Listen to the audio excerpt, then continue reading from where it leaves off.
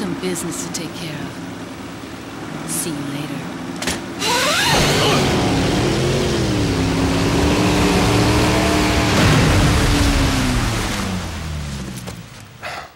Women.